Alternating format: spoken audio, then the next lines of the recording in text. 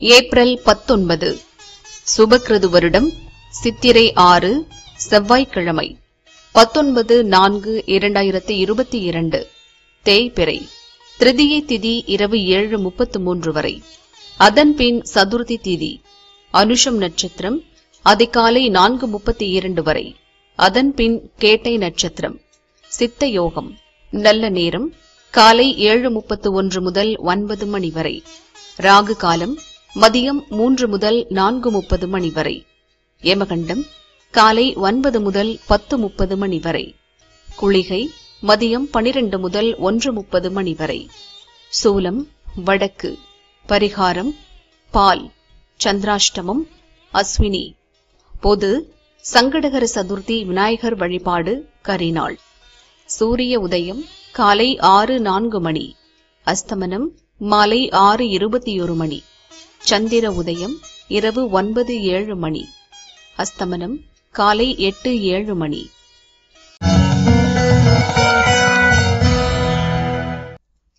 மேஷராசி அன்பர்களே யாரை பற்றியும் குறை கூற வேண்டாம். அதுவே நல்லது.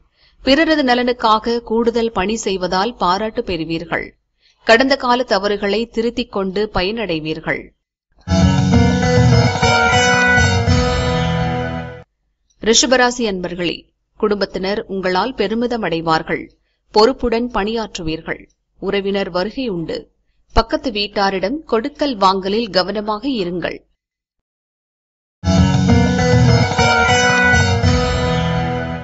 மிதுன ராசி அன்பர்களே நண்பர்களிடம் சில பிரச்சனைகளை மனம் விட்டு பேசுவீர்கள். உறவினர் நண்பர்கள் உங்களின் வீடு தேடி வருவார்கள். குடும்பத்தில் ஒருவருக்கு எதிர்பாராத நன்மை ஏற்படும்.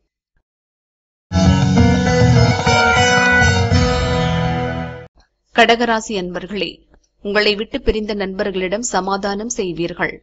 பொறுமையால் கூடுதல் நன்மை கிடைக்கும் நாள். இத்தனை நாளாக சிரமமாக தெரிந்த ஒரு செயல் இனிமேல் சுலபமாகும்.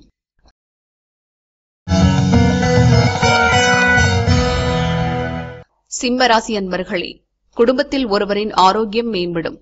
நிம்மதியான நாள். குழந்தைகளால் பெருமை சேரும் நாள். சேமிப்பில் ஆர்வம் கூடும். பக்கத்து வீட்டாரிடம் உள்ள எதிர்ப்பு அடங்கி சமாதானமாகும் நாள். கன்னிராசி அன்பர்களே பணியிடத்தில் சாதுரியமாக செயல்பட்டு பாராட்டு பெறுவீர்கள். பழைய கடனை தீர்க்கும் முயற்சியில் ஈடுபடுவீர்கள். உறவினர்களுடன் இருந்த கருத்து வேறுபாடு நீங்கும். துளாராசி அன்பர்களே பணியாளர்களுக்கு மனதில் இருந்த பயம் நீங்கும். நிம்மதி கூடும். உங்களுக்கு புது வேலைக்கான நற்செய்தி தேடி வரும். மகிழ்ச்சியான நாள். பிள்ளைகளின் எதிர்காலம் குறித்த கவலை தீரும். மனம் லேசாகும். விருச்சிகராசி அன்பர்களே பிறருக்கு உதவி செய்து பெரியோரின் வாழ்த்தை பெறுவீர்கள். இன்று முதல் பண விஷயத்தில் சிக்கனத்தை கடைபிடிப்பீர்கள். விடாமுயற்சியால் சில செயல்களை சிறப்புடன் முடிப்பீர்கள். தனுசுராசி அன்பர்களே வியாபாரத்தில் லாபம் ஈட்டுவீர்கள். குடும்பத்தில் மகிழ்ச்சி உண்டு. வீட்டில் செலவுகளை குறைப்பதில் அக்கறை காட்டுவீர்கள். கடுமையாக தொல்லை தந்தவர்கள் உங்களை விட்டு விலகும் நாள்.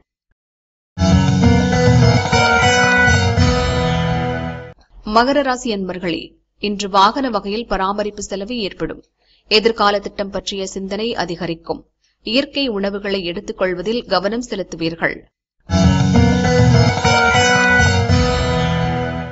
கும்பராசி அன்பர்களே சமூகத்தில் உங்களின் மதிப்பும் மரியாதையும் உயரும்.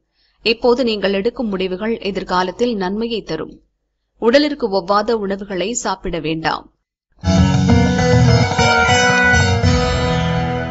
மீனராசி அன்பர்களே குழந்தைகளால் பெருமிதம் அடைவீர்கள். மகிழ்ச்சி கூடும் நாள்.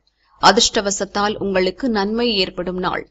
உற்சாகமாக சுப செலவுகளை செய்வீர்கள். மகிழ்ச்சி அதிகரிக்கும்.